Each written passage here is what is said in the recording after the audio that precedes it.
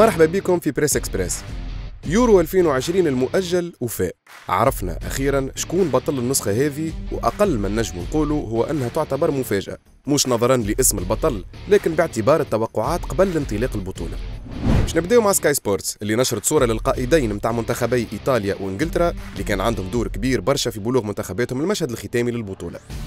واللي كان عنده كلمة الختام هو القائد كييليني اللي كيما نشوفه مستعد باش يعمل أي حاجة باش يحمي مرمى فريقه وهذا اللي عكس الجرينتا الإيطالية.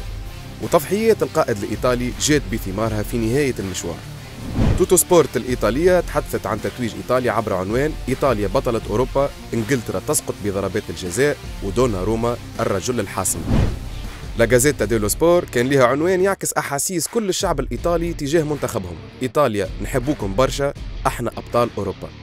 ليكيب الفرنسية وسكاي سبورتس الإنجليزية كان ليهم عنوان مشترك نسبة للي قالوا بونوتشي بعد نهاية المباراة مباشرة.